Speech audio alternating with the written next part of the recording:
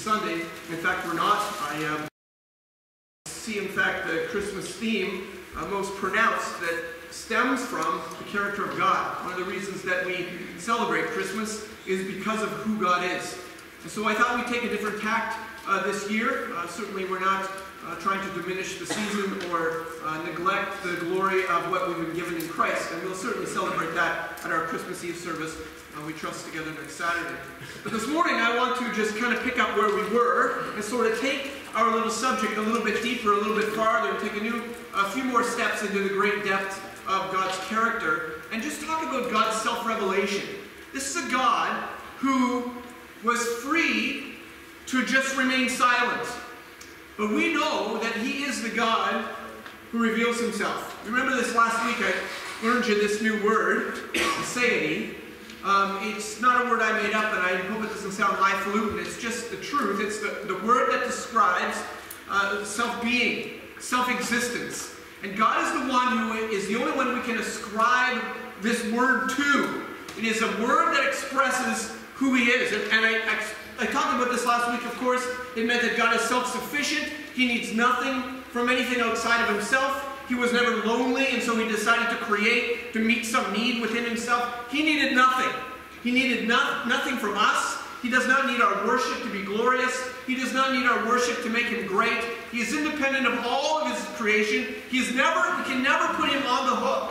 He is never obligated to us. That's such an important thing for us to remember. God is never obligated to his people. He is always free. He is always separate from his creation to do whatever he wants with his creation, and he's always right because he's always God. This is what we see of how God begins to introduce himself as he expresses this truth to Moses. And we read these verses last week. I'll just read them again if you don't mind. Exodus 3 13 and 14, Moses said to God, If I come to the people of Israel and say to them, The God of your fathers has sent me to you, and they ask me, What is his name? What shall I say to them? God said to Moses, I am who I am. It's kind of an odd name. He takes a verb, uh, the verb to be, and he plays on the word, and, and he just says, I just am. I'm self-existent is what he's saying. I'm self-sufficient. I am the one who always is, I just am. That is exactly what we would expect to find in the universe that exists. Something has to be eternal.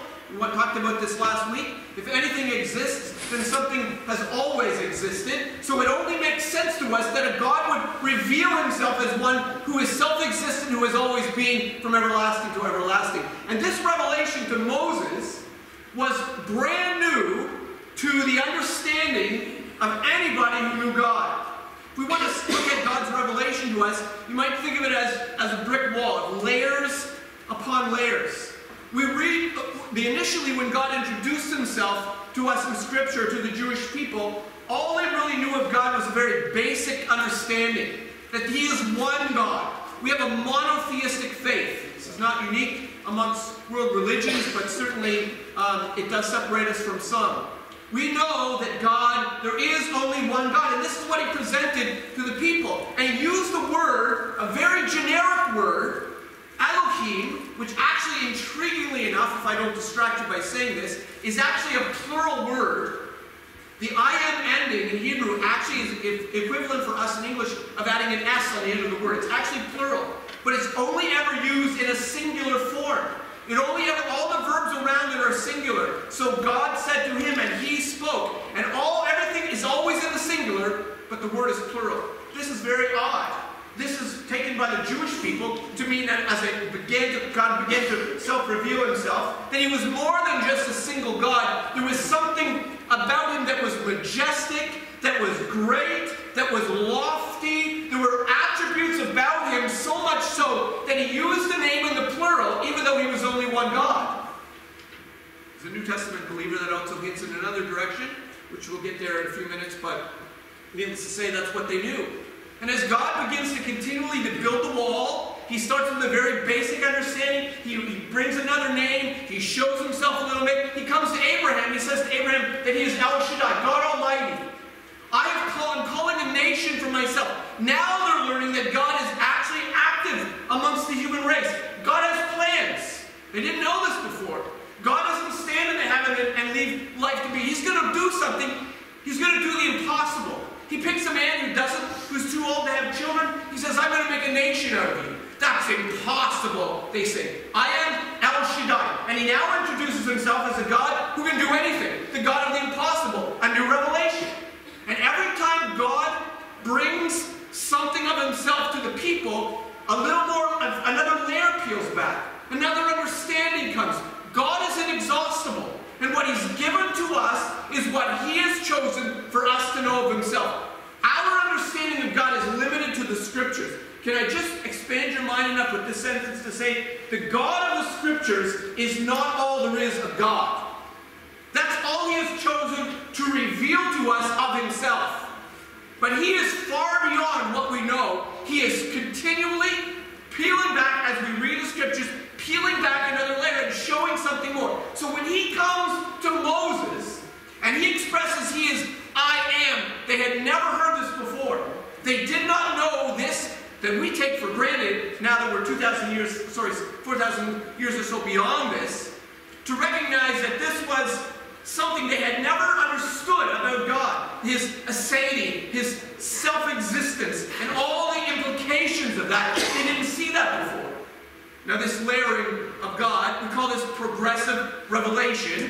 Just as an aside, some people criticize uh, the God uh, that we worship, and they say that every time the Jews wanted to add something, they just came up with something new, and they kept evolving God.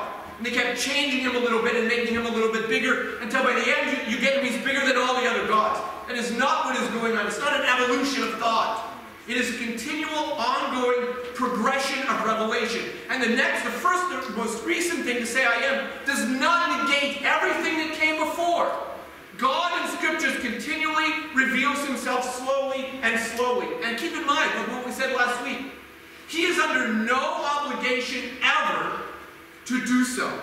He is under no obligation to show himself, to express himself, to tell us anything about himself. What he chooses for us to know is what he chooses for us to know. It is completely and utterly out of the attributes of his love and mercy and grace that he has even decided that he will expose to our hearts and to our minds something of his greatness.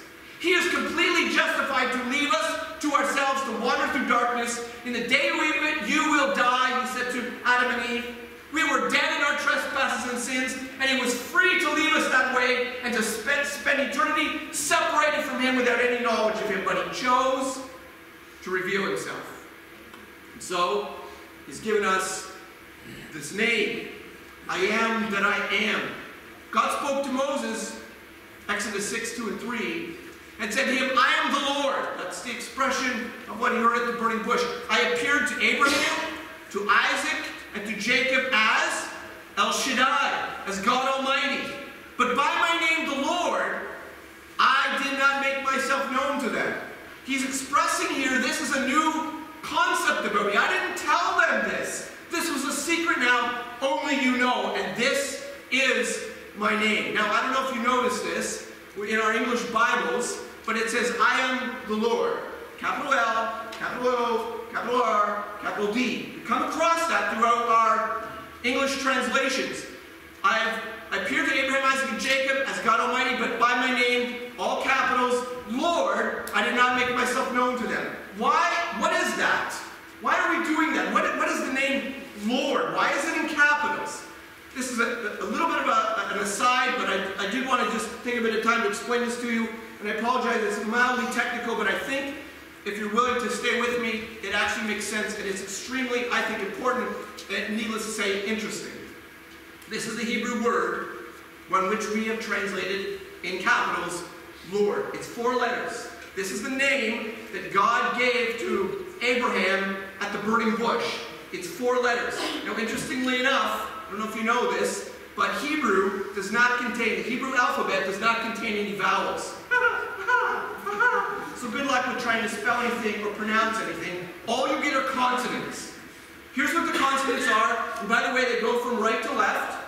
So your first consonant here is a Y, next one is an H, the next letter is a W, the next letter is an H. Learning Hebrew is like driving backwards with your eyes closed down the wrong way of the street. It's like you don't know what's coming, you can't see what's coming, and everything's backwards anyways.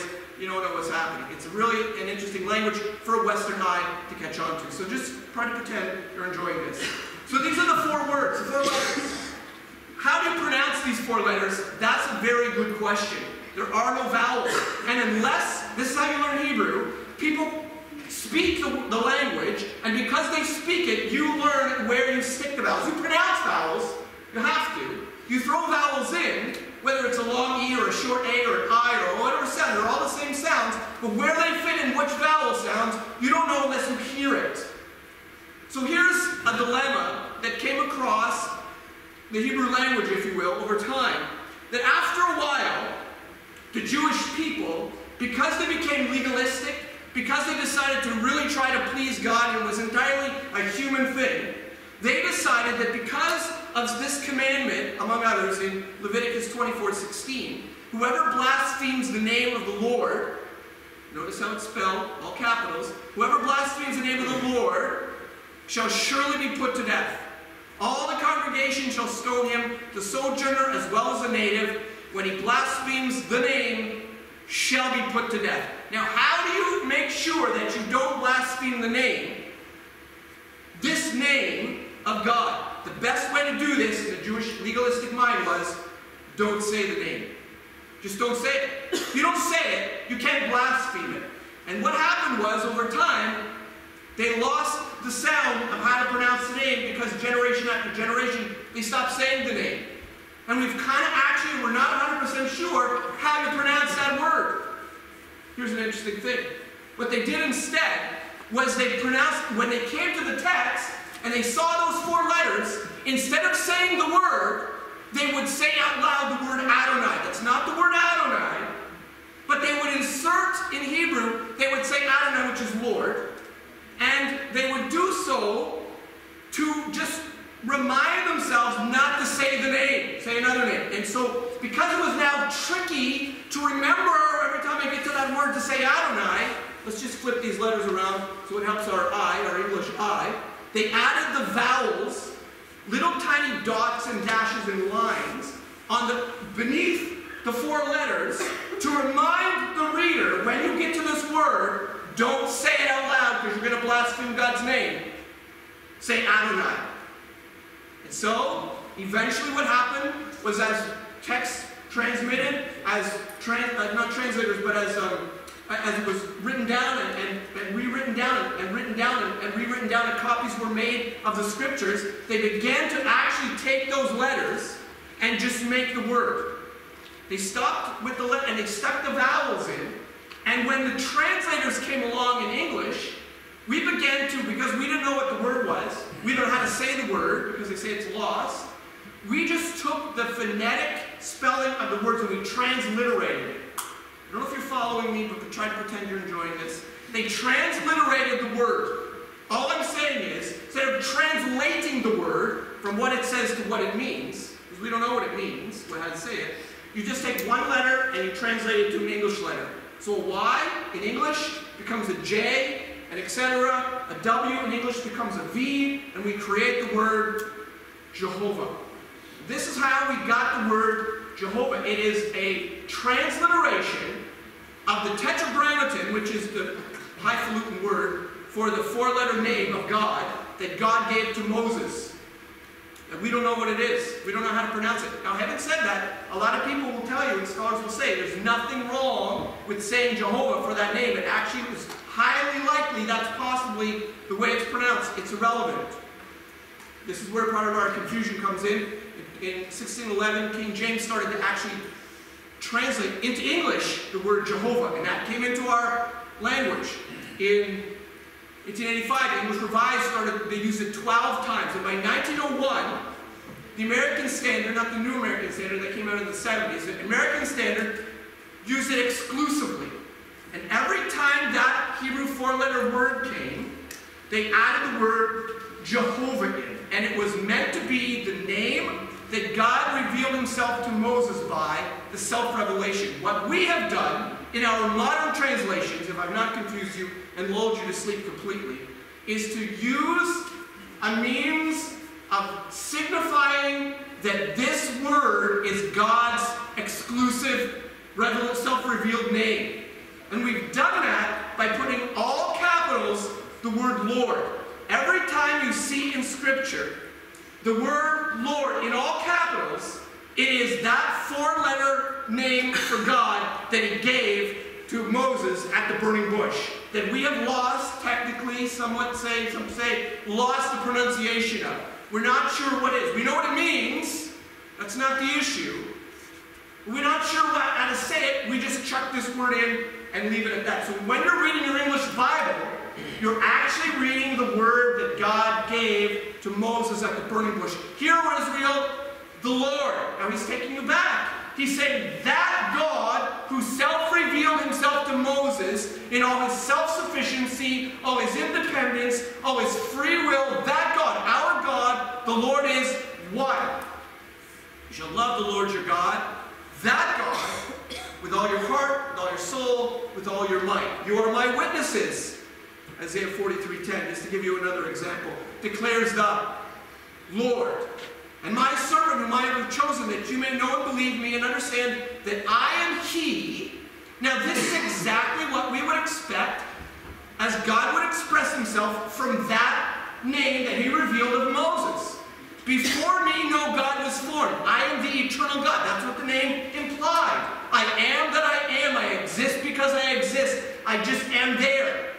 Because I'm always there, no God could be before me, nor shall there be any after me. I am the everlasting God. That's exactly what L-O-R-D would mean. I, in case you haven't caught that, he says it again. I, meaning alone, only, that's it, and the Lord.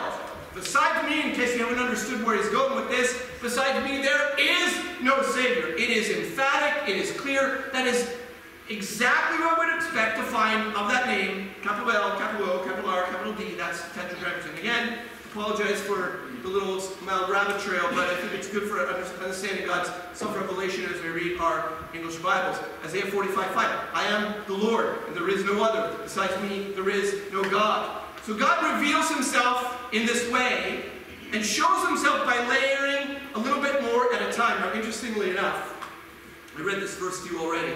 There's something to be said about this verse and God's self-revelation. He is a God who reveals himself. Deuteronomy 6.4. I read this and you know this verse well. Hear, O Israel, the Lord, our God, the Lord is one. Now, if he was trying to say that he is the only God, why doesn't he say it like this? There is no other besides me, there is no God. What does he mean by the Lord is one? Is he trying to say he is the only God? Is he trying to say he is only one, there's only one God? If he is, why does he say it in such a, I think, an awkward way? The Lord is one. If he was trying to say that God is, there's only one God, apologize for all this technicality this morning, but it is helpful to us, I think. He would have used the Hebrew word yahid, which means one. means solitary one. Let me give you an example of this, just for you so you see how this word works. In uh, Genesis, uh, God speaking to Abraham, he said, Take your son, your Yahid son, Isaac, your only son, Isaac. Now, this is interesting because Ishmael also existed at the time, but God chooses to use the word only, solitary, one of a kind. You only have one legitimate son, one, alone. He says to uh, we see this in, in, uh, in, Judges, the story of Jephthah. Jephthah came to his home at Mizpah. Behold, his daughter came out to meet him with tambourines and, and dances. She was his Yahid child, one, singular, solitary. And in case the reader doesn't get it, he adds this, besides her he had neither son nor daughter. One of a kind only. Is that what the author meant when he said, Behold, the Lord our God, the Lord is one of a kind, the only one. If he meant that, he would have used the word Yahid. He did not. Let me give you one last example because your eyes aren't glassy enough yet. Psalm 25. Turn to me and be gracious to me, for I am Yahid. What does he say? I am all by myself. It's me and the crickets. It's me and the stars over the, you know, the sky. That's it. I'm alone. Me and that's it. Destitute and afflicted. Yahid. He does not say, the Lord our God, the Lord is Yahid, one, one of a kind, solitary, no one.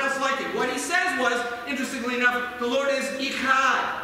There's another self-revelation, a little bit of a hint, somewhat of a clue. Elohim has always been in the plural. And now suddenly we have this word Echad, which doesn't make sense. The Lord is a unified one. He is one, but he is not just one singular one. What does that mean? In English, we don't have a word that fits this description. When we come to the word one, we have to use other ways to clarify that one.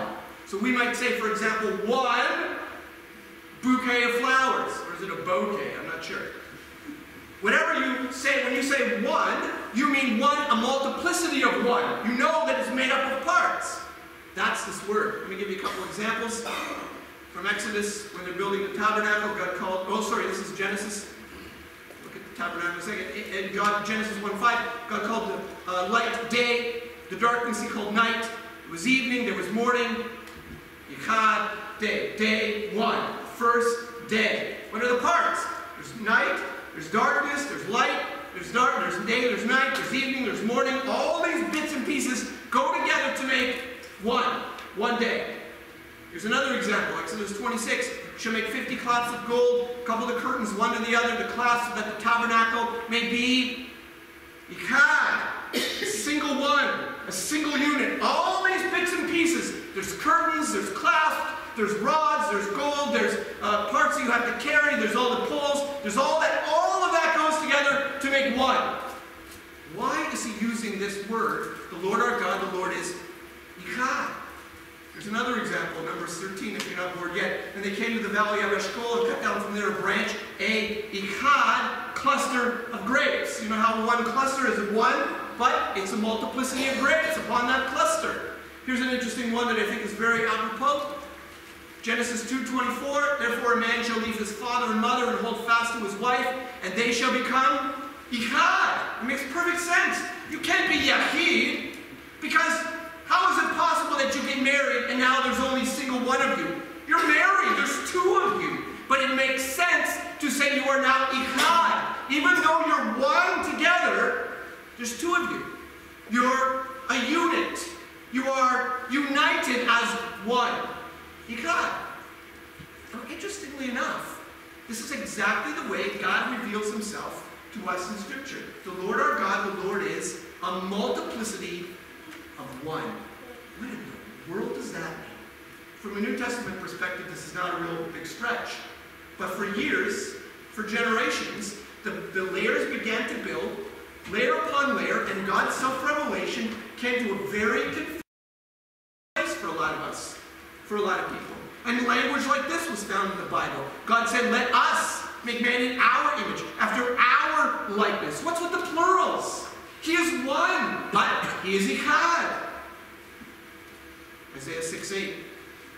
After I and I heard the voice of the Lord saying, Whom shall I, singular, whom shall I send and who will go for us? What are you, out of your mind? How do you talk? Why do you talk like this? This is God talking.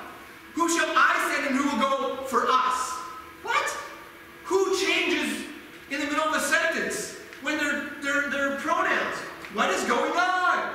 God is a unified one. And his revelation began to be very, very clear to us when a man named Jesus came along. John 8, 56. Your father Abraham rejoiced that he would see my day. He saw it and was glad. So the Jews said to him, You are not 50 years old, and you have seen Abraham? Jesus said to him, Truly, truly, I say to you, before Abraham was, I am. Talked about this last week, famous text by Jesus. He is making the very claim, Uh, as mentioned last week, the very claim to be the one who spoke to Moses at the burning bush. You say, I am the I am. I am. Now, this only begins to make sense when you start to put all the pieces together and you realize that the God who is revealing himself to us is a mystery. He is beyond our full grasp of understanding. We will not put him in a box. We will not fully grasp what's going on. But there is something about God, something about this God who has revealed himself to us that we start to put the puzzle pieces together and realize he is not just ordinary, that a God that we can put in our heads and understand fully in our minds. There is some multiplicity about this God that causes him to describe himself with language of plural language that Jesus, who's on earth, talks about his Father in heaven, but claims to be God. What is going on? It seems obvious to us as a New Testament church, but it wasn't always easy to put this together. John chapter 10. I give them eternal life. They will never perish. This is Jesus speaking. No one will snatch them out of my hand. So you imagine whatever Jesus' metaphor is, he's got them in his hand, my hand. My Father who has given to me is greater than all, and no one is able to snatch them out of my Father's hand. Wait a second, hold on, hold on. Whose hand are they in? I thought you said, Jesus, I thought they were in your hand. And now you say you can't snatch them out of your Father's hand. Who's got a hold of them, Jesus? You or the Father? What are you talking about? Whose hand are they in? Then he drops his bombshell, verse 30. I and the Father are one. What? Behold, the Lord our God, the Lord is one. Jesus now claims that he is one with the Father. And that multiplicity of God, suddenly Jesus is saying, if they're in my hand, they're in the Father's hands. If they're in the Father's hands, they're in my hands. We have the same hands. Wait a minute. So you're the same person? No, no, no, no. It's very clear. They're not the same person, but somehow they're exactly the same. This is our God as He has revealed Himself to us. John 14, verse 16. Let me just throw this at you because bored enough already. And I will ask the Father, this is Jesus speaking. I will ask the Father, and He will give you another helper to be with, with you forever. He's talking about the Holy Spirit. That's why we put a capital H there. I will give you another helper, and another helper will come to you. Now, I could not get through this verse without getting distracted by this, and I have to just take a pause and show you this because it's so cool. If you haven't already had enough first languages thrown at you and your head is already melted. This word another, I got to show you this. Even if you don't care and you forget this, it's really cool. The word another is a Greek word, allos. Okay? We don't do this in English. Greek is kind of cool. Other languages have opportunities we don't always get in English. We have some they don't have. There's two words for another. Another of exactly the same kind is what Jesus said right there. I will give you allos helper. If you ate a cookie and you really enjoyed that cookie, when you're in Hebrews, you would say, Give me allos cookie. Give me another exactly like the one I just ate. But if you didn't like it, you want a different one, you would say, Give me heteros cookie. Give me a different one. Better quality, different brand, whatever the case. I want another one, but not exactly like the first one, a different one. Jesus says this I will give you allos helper. I will give you one exactly like me. Whoever I am, that's who's going to come. That's pretty cool. Okay, that was an aside, but I had to show you that. I'm going to go, and somebody else is going to come. Remember that he said that. Two verses later, I will not leave you with boys orphans. I will come to you. Wait a second, are you are you out of your mind? You just told me you were going to go and somebody else was going to come, and now you say, I'm going to come. What are you, what are you talking about? Are you forgetting what you said already? Why are you talking like this? A few verses later, same text, a few verses later, Jesus answered him, If anyone loves me, he will keep my word, and my Father will love him, and we will come to him. Whoa, whoa, whoa, whoa, whoa, whoa. So Jesus says, I'm going to come. No, I'm going to go, and a helper's going to come. Then he says, I'm going to come. And then he says, when we come, my Father's going to come, and I'm going to come too. Well, who's coming? And as we put all the pieces together, we begin to see that Jesus is just expressing, behold, the Lord our God, the Lord is Echad. There is a multiplicity about him. There is a, a complexity about this God. He is not just a God of our imagination. And can I say this is one of the reasons that I believe this God is the true God. If we were going to make up a God, we would not confuse ourselves with this. We would make up a God that made perfect sense, that fit into a box, that we could understand fully. This God, as He has revealed Himself to us, gives only enough of Himself to us to just leave us confused.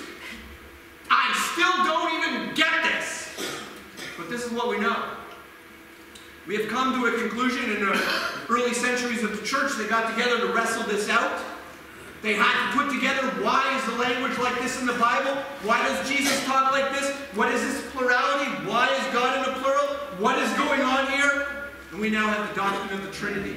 The word Trinity is not in the Bible, as every Jehovah's Witness loves to come to your door and tell you, and that is utterly irrelevant because the teaching of the Trinity is clearly there. We just use that word to express this God that we don't understand. This is what we mean. Just be clear. We only believe in one God. We do not believe in three gods. There is only one God. Whatever the physics are in the dimension that Jesus and God and the Holy Spirit dwell in, that whatever the physics allow this God to exist as one God, but he exists in three persons, distinct persons. Now, this sounds like we're splitting hairs, but this is important. You are one being, okay? And in this realm, three-dimensional realm, one being can only be one person.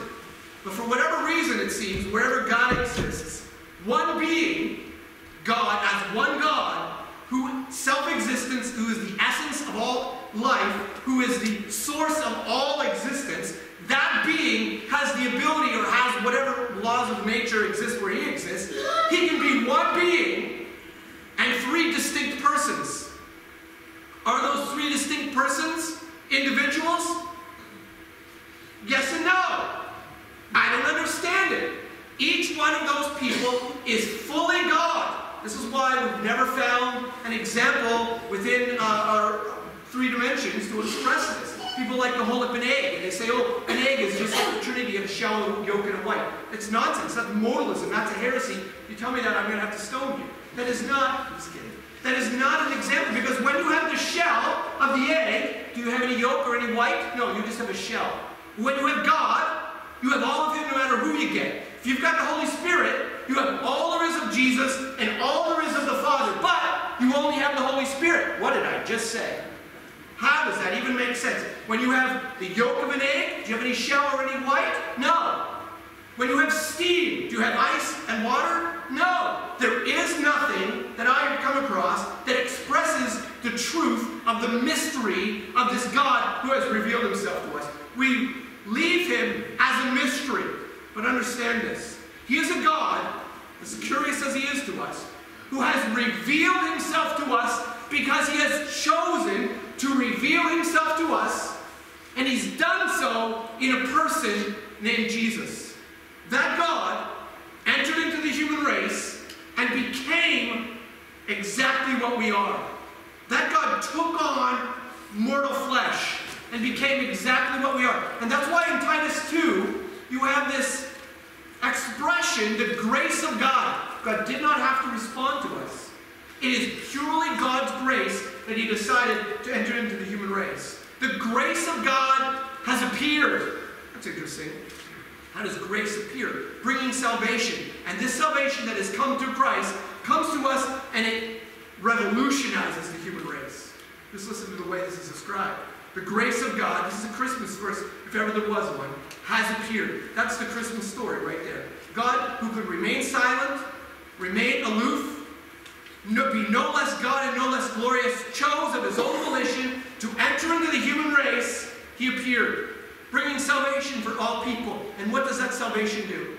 Training us to renounce ungodliness and worldly passions and to live self controlled, upright, and godly lives in the here and now. This message that Christ came to bring revolutionizes the human race. Peace on earth, goodwill towards men. Waiting for our blessed hope, the appearing of the glory, listen to this word, the appearing of the glory of our great God and Savior, Jesus Christ. Do you know what Jehovah's Witnesses have to do with this verse to make that fit with their theology? How twisted this becomes? Because it's so plain that Jesus, our Savior, is our great God. How do you put those two together? Jesus was a man. What do I tell you?